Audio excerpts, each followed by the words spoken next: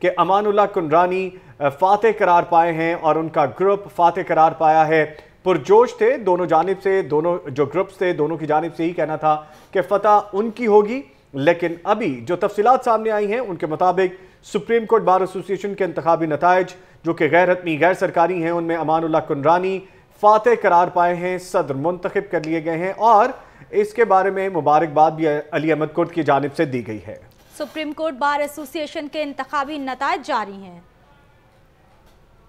پہلے کہ میں دوسری بات کروں، میں lawyers reformers group, professional lawyers group, peoples lawyers forum, Islamic lawyer movement, Pakistan Muslim League, Quaid Azam, Indus lawyer forum اور دیگر تمام گروپس کا وکلا کے جنہوں نے میری اس الیکشن میں مدد کی ہے، میں سب کا شکریہ ادا کرتا ہوں تہ دل سے۔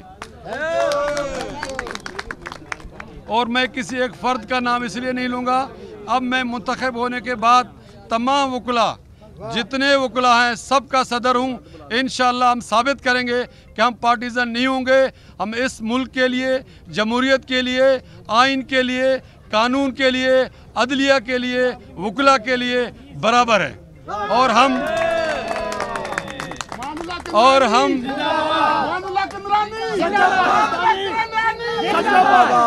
ہم پاکستان زندہ آباد پاکستان زندہ آباد بلوچستان زندہ آباد بلوچستان زندہ آباد نعرہ تکبیر۔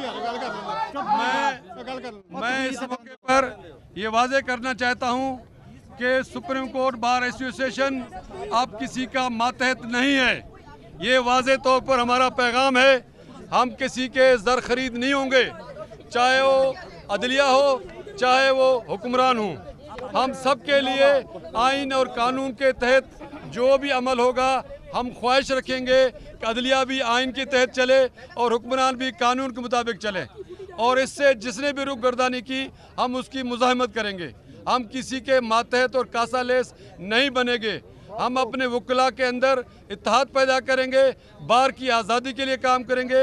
وکلا کے مسائل جو سب سے بڑا مسئلہ انسانی علمیہ میں تبدیل ہو چکا ہے کہ ان کے پلاٹوں کا ہے، جس میں ساڑھے پانچ ارب روپے لے کر پانچ سال سے جن لوگوں نے دبایا ہے اور سابقہ سابقہ ہمارے اداروں نے اس معاملے میں مایوس کیا ہے۔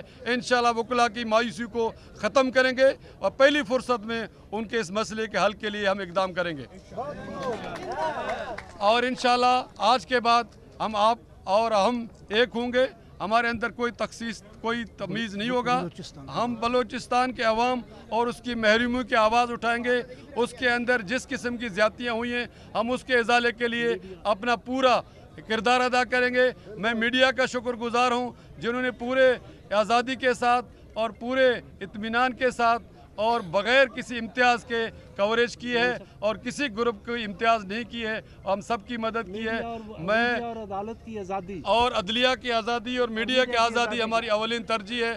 کسی قسم کے قدغن کو اگر عدلیہ کے اوپر وقت آیا ہم عدلیہ کے ساتھ کھڑے ہوں گے۔ اگر وکلا کے اوپر وقت آیا تو وکلا کے ساتھ کھڑے ہوں گے۔ ہم انشاءاللہ ایک بیلنس ایک ادارہ قائم رکھیں گے اور اس کے اندر کوئی امتیاز نہیں کریں گے کسی کے ساتھ۔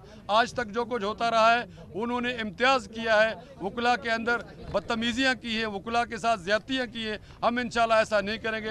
ہمارے لیے تمام وکلا بھائی ہیں چاہے جسی بھی گروپ کا ہے جس گروپ کا ہے وہ ہمارا بھائی ہے اور یہ سپریم کورٹ بار کا حافظ سب کا حافظ ہے۔ میں آپ کا ایک بار پھر شکریہ ادا کرتا ہوں۔ بلوچستان کے عوام کے لیے پازیٹیو میرے میری جیت سے الحمدللہ بلوچستان کو ایک بہت اچھا میسج جائے گا۔ میں سینیٹ آف پاکستان میں بھی بلوچستان کے حقوق کی آواز اٹھاتا رہا ہوں۔ ایڈوکیٹ جنرل کی حیثیت سے بھی بلوچستان کے عوام اور وکلا میرے خدمات سے آگاہ ہیں۔ انشاءاللہ بلوچستان کے وکلا کے لیے بلوچستان کے عوام کے لیے میں ایک آواز بنوں گا انشاءاللہ۔ انشاءاللہ۔ بہت بہت شکریہ۔